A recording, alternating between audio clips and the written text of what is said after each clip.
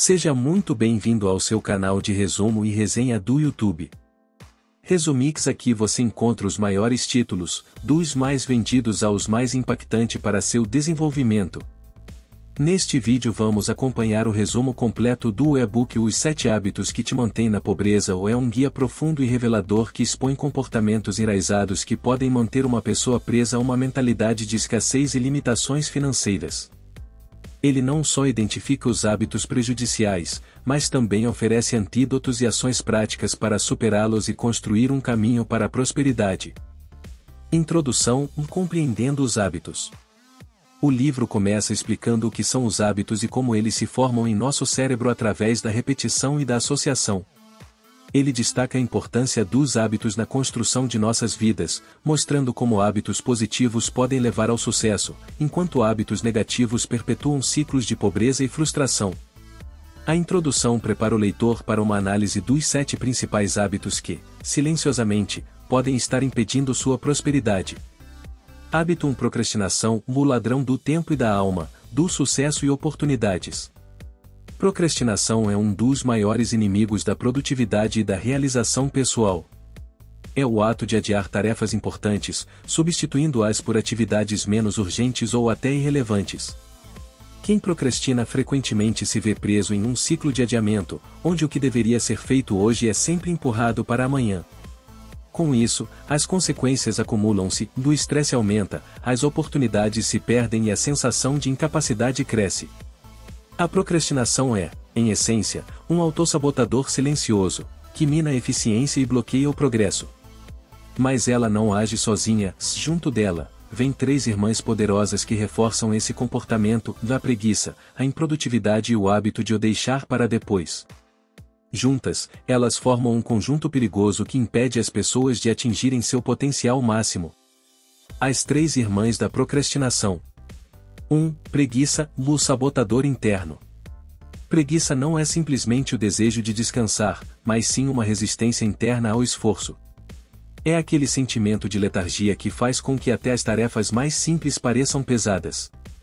A preguiça nos faz evitar o desconforto inicial do trabalho, alimentando o ciclo da procrastinação.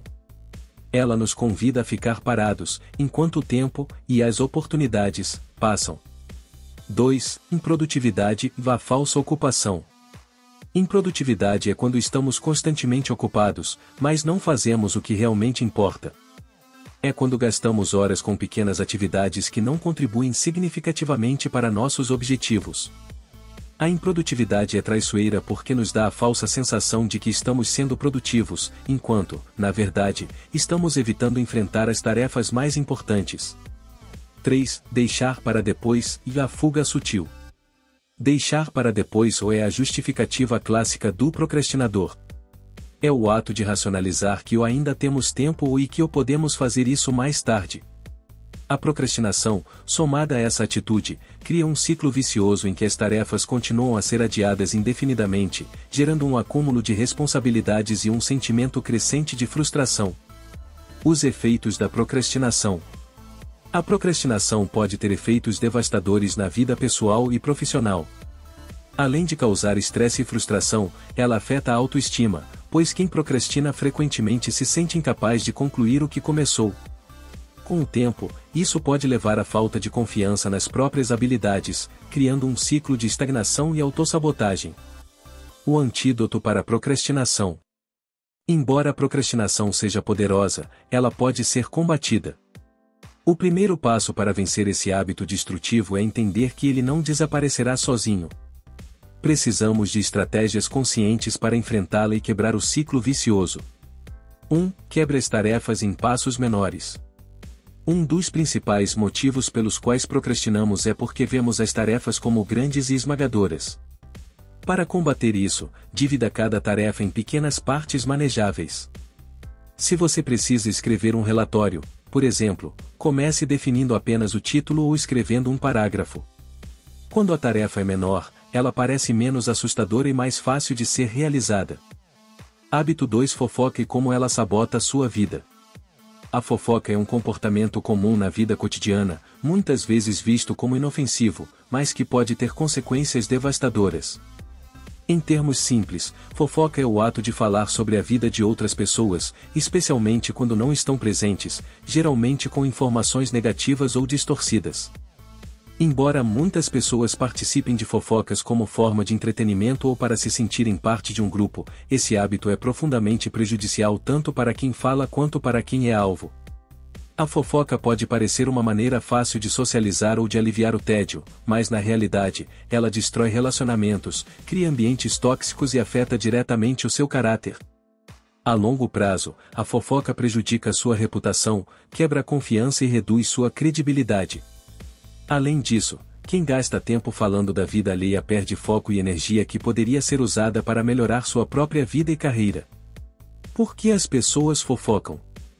Existem várias razões psicológicas que explicam por que as pessoas fofocam. Busca por relevância social e muitas vezes, as pessoas fofocam para se sentirem incluídas em um grupo. A fofoca cria um vínculo momentâneo entre quem fala e quem ouve, mesmo que seja construído sobre negatividade. Insegurança, algumas pessoas fofocam porque se sentem ameaçadas pelo sucesso ou pelo comportamento dos outros. Ao diminuir outra pessoa, elas buscam elevar a si mesmas, ainda que de forma ilusória. Sensação de controle, compartilhar informações, especialmente privadas ou escandalosas, pode dar a sensação de poder. Quem fofoca acredita que, ao saber os segredos, tem controle sobre a situação ou sobre os outros. Os malefícios da fofoca. Embora pareça um comportamento social comum, a fofoca é prejudicial de várias maneiras. Destruição de relacionamentos. O fofoca destrói a confiança. Quando alguém descobre que foi alvo de fofocas, a confiança entre as pessoas é quebrada, e muitas vezes é difícil reconstruí-la. Relacionamentos pessoais e profissionais são profundamente afetados.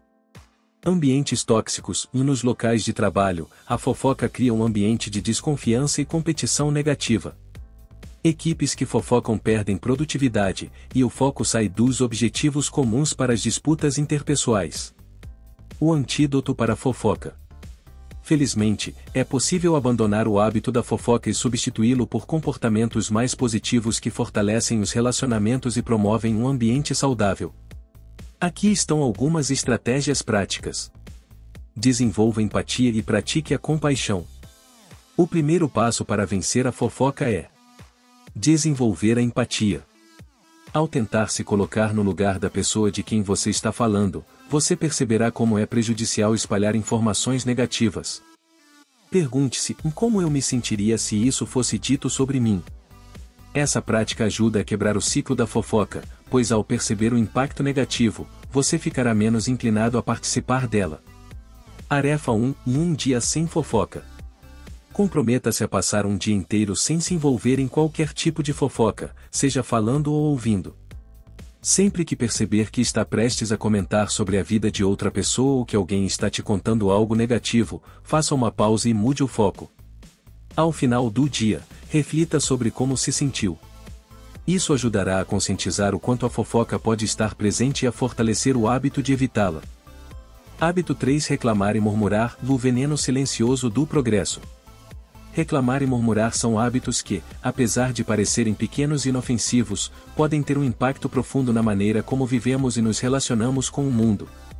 Reclamar é o ato de expressar insatisfação verbalmente, destacando os aspectos negativos das situações, pessoas ou acontecimentos.